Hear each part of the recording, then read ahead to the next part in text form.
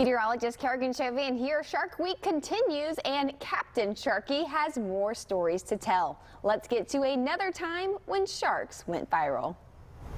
So this giant jumbo snapper, man, at least a 15 pound fish. Look at my hand on this fish, just a toad.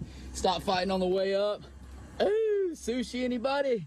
And so we're on this uh, offshore trip and he's reeling this snapper in and it's fighting really well and uh, and then all of a sudden his rod just like absolutely just bends over. The line starts screaming, going nuts, and uh, and then just lightweight. After about five seconds of that line just screaming out, it's just completely lightweight.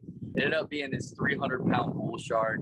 Uh, so what was cool is we were able to actually take a uh, what we call a blue runner and we put it on our shark rod and reel and we actually just put it right back in the water and that giant shark came up and ate the blue runner and we were actually able to catch that shark. Well, most of us swim away from even the thought of a shark being in the water. However, the career that Michael chose has him searching for these apex predators. I asked him how this um, interaction between him and the sharks makes things complicated at times. My feeling is is that they really do. The more research and studying that you do on sharks, they really are a great thing for our ecosystem and they're a great thing for our oceans. And so, yes, we love to get out there and make a living by catching these great fish and these big fish.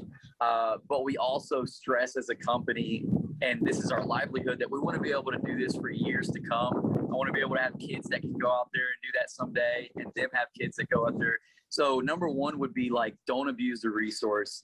You know, we go out there, we catch our fish. If it's a female, you know, we try to do our best to release it. If it's a edible fish and it's a good fish and we know that they're gonna harvest that meat and they're gonna do it properly, then we're all for it.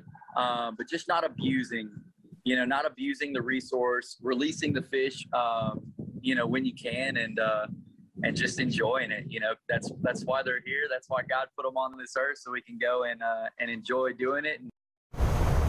That's some good stuff right there. For more about Michael's Fishing Company and wild and wacky shark videos, you can go to our website at cw39.com.